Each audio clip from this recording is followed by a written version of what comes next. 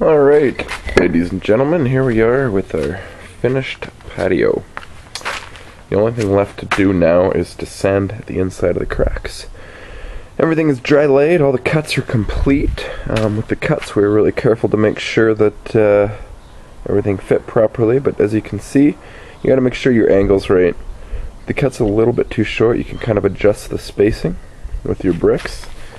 You can see right here, you can just adjust things so that they end up looking good. And what we'd want to do here is isn't quite where we want it. So we take a little bit of sand, put it in between the cracks, set it, and then that angle is good. This one too is a little bit we can do with it to just kind of shimmy it into place. But as you can see with the cut line going down this side here, you want to make sure that it goes with the flow of the patio.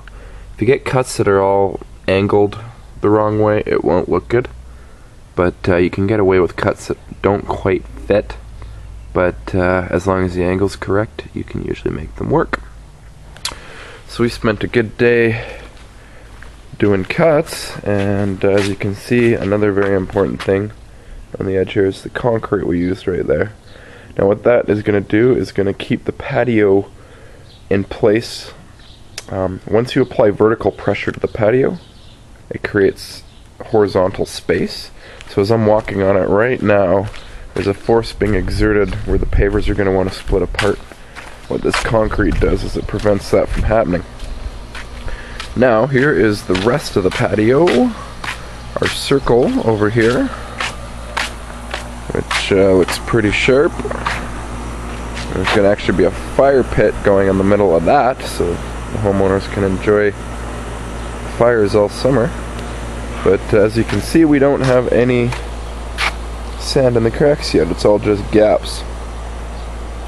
So we've got all our levels perfect. Now the next step is to tamp the patio with our plate compactor. I'll show you the plate compactor, which is right there and we're going to go over the entire thing.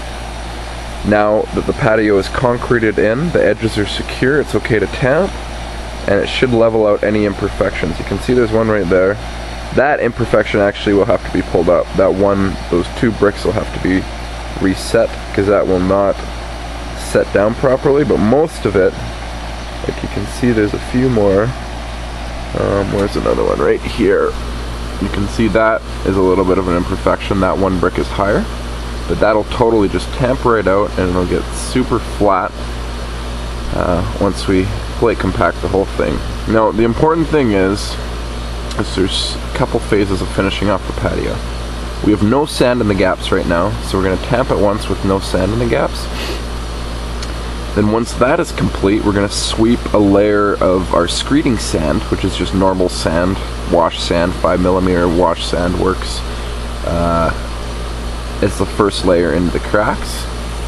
And then after that, what we're going to use is actually called a polymer sand in between the gaps after that. So in between each layer of sanding, we're going to tamp it and uh, and then sweep more sand into it. So the first layer, we do a light layer of um, just wash sand once again. And uh, the second layer is polymer sand. Now, polymer sand is special because a polymer is a glue, and once water is applied to it, it uh, hardens and it seals up. So by putting this in the cracks, what we're actually going to do is seal up these cracks so that all of our water doesn't sit underneath the patio or goes in between the gaps. The water is just going to go right over top of the patio and it's going to go right into this area where you can see there's a lot of water already.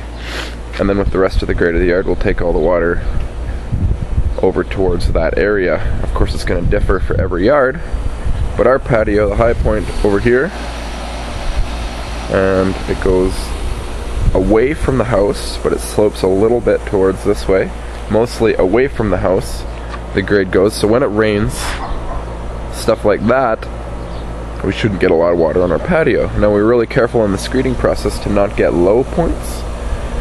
If you have low points, then you're going to have issues when you tamp the thing out. Um, it won't be a smooth, smooth surface. Now, the things that will tamp out are just micro imperfections where, you know, the odd break isn't quite set the same way as the other one.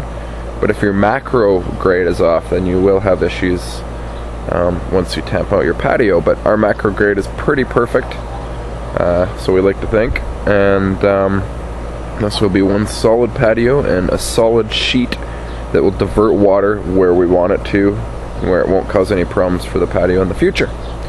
Anyways, so that is how you prepare a patio that is finished.